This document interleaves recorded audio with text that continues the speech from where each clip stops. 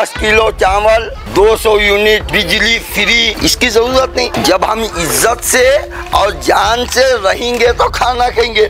हमारी इज़्ज़त ही नहीं है हमारी जान ही महफूज नहीं है हमारे बच्चों का मुस्तकबिल महफूज नहीं है। तो 10 किलो चावल लेके क्या करना? घर में एक मर्द अगर है तो बाहर वाले तक नहीं उठाते। घर में चार पाँच औरतें हैं नंदा हैं सास है हाँ, भवे हैं। अगर मर्द नहीं है तो कोई भी जो है है ना सही है ना? नाम नासिर हुसैन उस्ताद है। हमारी इज़्ज़त बचना हमारी बच्चियाँ कॉलेजेस वगैरह में पर्दे के साथ जाना। बीजेपी ये बजरंग दल ये विश्व हिंदू परिषद ये राम सेना ये जो लोग हैं जो हमारी लड़कियों को बेपर्दा करने की कोशिश कर रहे हैं इनके खिलाफ आवाज़ उठाने वाला मर्द होना। This This video presented by Al Sharai for boys and girls M S K mill Road, Al Sharai P college for girl Mijgori road, Gulbarga girls PU college, Basaveshwar colony. Al Sharai B S C degree college for girls, Yadula colony. And happy days play school old Jewargi road. यहाँ का candidate जनाब नासिर हुसैन उस्ताद है। हमारी इज़्ज़त बचना, हमारी बच्चियाँ college वगैरह में पर्दे के साथ जाना। उनके ऊपर ये बीजेपी, ये बजरंग दल, ये विश्व हिंदू परिषद, ये राम सेना, ये जो लोग हैं, जो हमारी लड़कियों को बेपर्दा करने की कोशिश कर रहे हैं, इनके खिलाफ आवाज़ उठाने वाला मर्द होना। नहीं, घर का मर्द। तालिया नको बेटे, अजान का वक्त है, अब नमाज़ भी है, अब तरावी मुझे भी जाना है। घर का मर्द मज़बूत रहा। तो बाहर वाले आँख नहीं उठाते।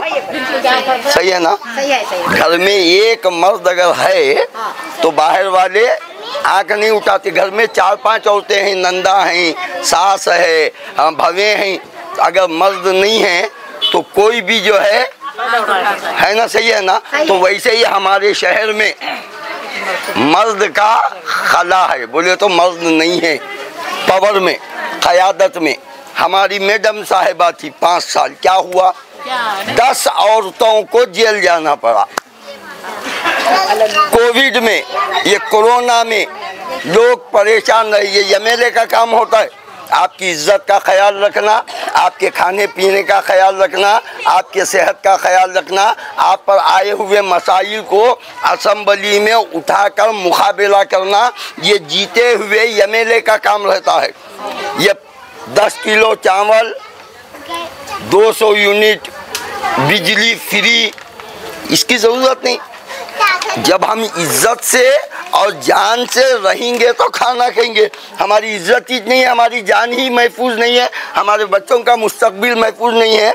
तो 10 किलो चावल लेके क्या करना? है ना? तो अब हमारे पास क्योंकि मैं सियासत में अब तक नहीं आया हालात पाँच साल में देखा क्योंकि मैं एक मौलाना मजहबी आदमी हूँ तो मैंने देखा कि हमारी कौम कौम मुस्लिम बेराह रवी का शिकार है। उनके ऊपर कोई एक नहीं है उनकी बात करने वाला। जब ऐसा शख्स नासिर हुसैन उस्ताद आया तो मैं साथ हुआ हूँ। आपने भी वायदा किया है, रमज़ान में रोज़े की हालत में इफ्तार करके आप बैठे हैं। अब कोई भी आ जाए, आप टस से मस नहीं होना। पोलिंग के दिन नासिर हुसैन उस्ताद को वोट देना।